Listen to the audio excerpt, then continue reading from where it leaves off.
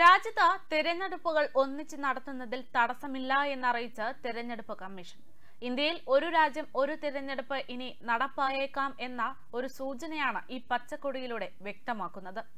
അങ്ങനെയാണെങ്കിൽ രണ്ടായിരത്തി ഇരുപത്തിനാലിൽ പിണറായി സർക്കാരിന് ഉൾപ്പെടെ പലരുടെയും കസേര തെറിക്കാനും സാധ്യതയുണ്ട്.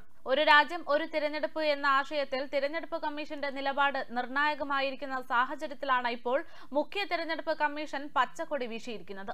എന്തായാലും ഭരണഘടനയിലും ജനാധിപത്യ നിയമത്തിലുമുള്ള നിർദ്ദേശങ്ങൾ പാലിച്ച് തെരഞ്ഞെടുപ്പ് നടത്താനാകുമെന്ന് മുഖ്യ തെരഞ്ഞെടുപ്പ് കമ്മീഷണർ രാജീവ് കുമാറാണ് ഇക്കാര്യങ്ങളെല്ലാം പ്രതികരിച്ച് രംഗത്തേക്ക് വരുന്നത്. സെപ്റ്റംബർ പതിനെട്ടിനും ഇരുപത്തിരണ്ടിനും ഇടയിൽ അഞ്ച് ദിവസത്തേക്ക് പാർലമെന്റിന്റെ പ്രത്യേക സമ്മേളനം കേന്ദ്രം വിളിച്ചു ചേർക്കുമെന്നും അതിൽ ചില നിർണായകമായ തീരുമാനങ്ങൾ നടക്കുമെന്നും വിവരങ്ങൾ പുറത്തു വന്നിരുന്നു. അതിൽ ഏറ്റവും വലിയ പ്രധാനപ്പെട്ട വിഷയങ്ങളിൽ ഒന്നായിരുന്നു ഒരു രാജ്യം ഒരു തിരഞ്ഞെടുപ്പ് എന്ന പദ്ധതി.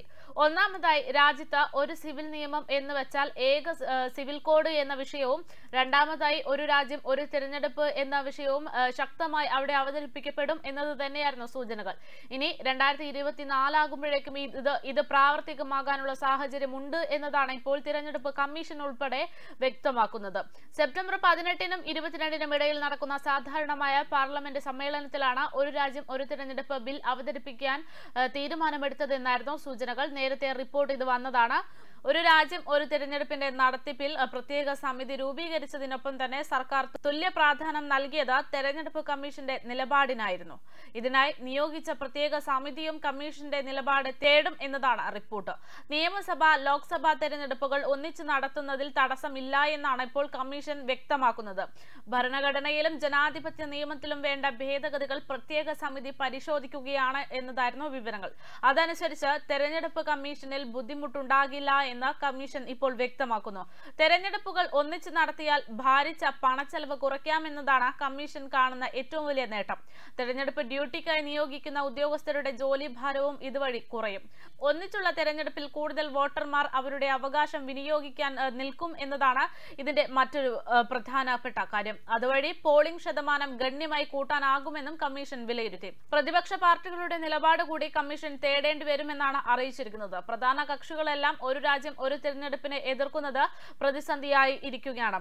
അതേസമയം രാംനാഥ് കോവിന്ദ് അധ്യക്ഷനായ സമിതി അടുത്ത ആഴ്ച വീണ്ടും യോഗം ചേർന്നേക്കുമെന്നാണ് സൂചനകൾ. പ്രാഥമിക ചർച്ച നടന്ന ആദ്യ യോഗത്തിൽ എട്ട് അംഗ സമിതിയിൽ മുൻ രാഷ്ട്രപതി രാംനാഥ് കോവിന്ദ് ഉൾപ്പെടെ നാല് പേർ മാത്രമാണ് ഉണ്ടായിരുന്നത്. പാർലമെന്ററി പ്രത്യേക സമ്മേളനത്തിൽ പരിഗണിക്കുന്ന പ്രധാന നിയമനിർമ്മാണത്തിൽ ഒന്നായിരുന്നു ഈ ഒരു രാജ്യം ഒരു തിരഞ്ഞെടുപ്പ് എന്ന ആശയം.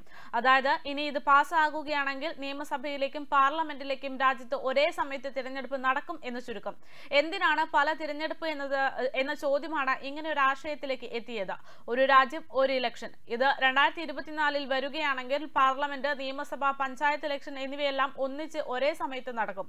ഇതോടുകൂടി ഏറ്റവും വലിയൊരു ചോദ്യമായിരുന്നു ഉയർന്നിരുന്നത് പാർലമെന്റ് തിരഞ്ഞെടുപ്പിനൊപ്പം തന്നെ നിയമസഭാ തിരഞ്ഞെടുപ്പും നരേന്ദ്രമോദി പ്ലാൻ ചെയ്യുന്ന രീതി വരികയാണെങ്കിൽ പിണറായി വിജയന്റെ നാളുകൾ ഇനി എണ്ണപ്പെടുമല്ലോ എന്നതായിരുന്നു ആ ചോദ്യം. ആ ചോദ്യം ഇപ്പോൾ ഒന്നുകൂടെ ആവർത്തിക്കപ്പെടുകയാണ് തിരഞ്ഞെടുപ്പ് കമ്മീഷന്റെ ഈ പച്ചക്കൊടി വീശലിലൂടെ. ഡെസ്ക്